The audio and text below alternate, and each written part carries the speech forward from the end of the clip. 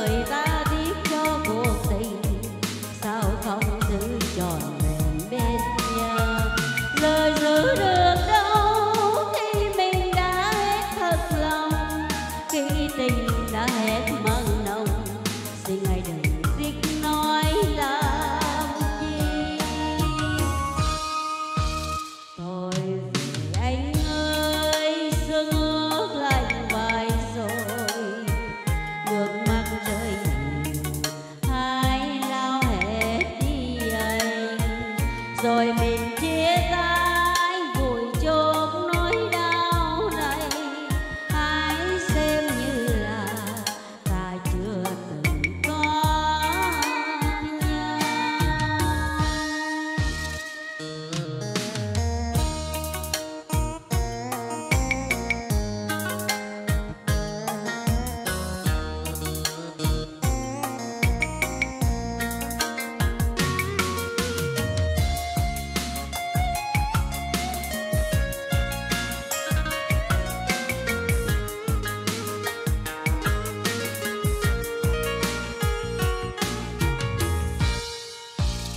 yeah.